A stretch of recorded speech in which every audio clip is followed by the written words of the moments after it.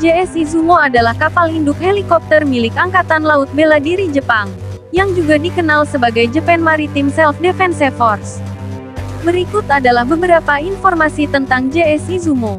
JS Izumo adalah kapal induk helikopter kelas Izumo yang pertama dalam Angkatan Laut Bela Diri Jepang. Kapal ini dinamai dari Provinsi Izumo di Jepang dan pertama kali diluncurkan pada tahun 2013. JS Izumo memiliki panjang sekitar 248 meter dan berat deplasemen sekitar 27.000 ton. Kapal ini memiliki de penerbangan luas yang dirancang untuk mendukung operasi helikopter dan dapat membawa beberapa jenis helikopter, termasuk helikopter serang dan transportasi. Meskipun kelasnya disebut sebagai kapal induk helikopter, JS Izumo memiliki kemampuan untuk mengoperasikan pesawat tiltrotor seperti MV-22 Osprey. Kapal ini digunakan untuk berbagai jenis operasi, termasuk patroli laut, misi penyelamatan, dan bantuan bencana. JS Izumo adalah kapal induk helikopter serbaguna yang mendukung kebijakan pertahanan dan kehadiran laut Jepang. Kapal ini juga dapat berperan dalam proyeksi kekuatan laut regional. JS Izumo telah digunakan dalam berbagai operasi dan latihan, termasuk operasi bantuan bencana dan operasi maritim. Kapal ini memainkan peran penting dalam menjaga stabilitas dan keamanan laut di kawasan Asia Pasifik. JS Izumo adalah salah satu kapal penting dalam Angkatan Laut Jepang yang memainkan peran dalam mendukung kebijakan pertahanan dan keamanan maritim di kawasan tersebut.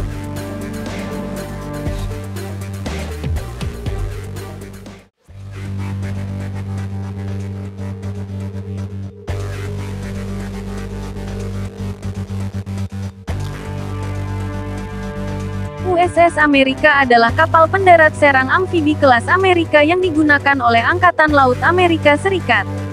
Berikut adalah beberapa informasi tentang USS Amerika.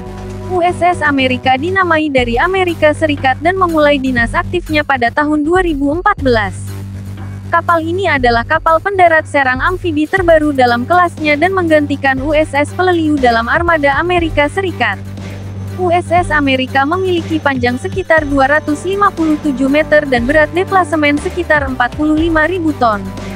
Kapal ini adalah bagian dari kelas Amerika yang tidak dilengkapi dengan peralatan untuk operasi pesawat vertikal dan memiliki D yang lebih luas untuk mendukung pesawat jet, pesawat tiltrotor, dan helikopter. Kapal ini dapat membawa berbagai jenis pesawat, termasuk pesawat tiltrotor MV-22 Osprey, helikopter, dan pesawat tempur STOVLF-35B.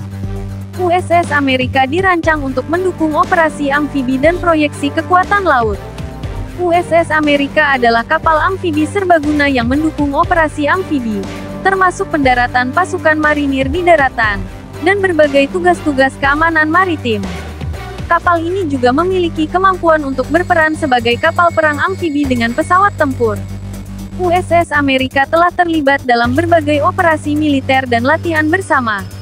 Kapal ini adalah bagian penting dari armada Amerika Serikat dan berperan dalam menjaga stabilitas dan keamanan maritim di berbagai wilayah dunia. USS Amerika adalah salah satu kapal amfibi terbaru dalam Angkatan Laut Amerika Serikat dan memiliki peran penting dalam mendukung operasi amfibi dan kebijakan pertahanan AS.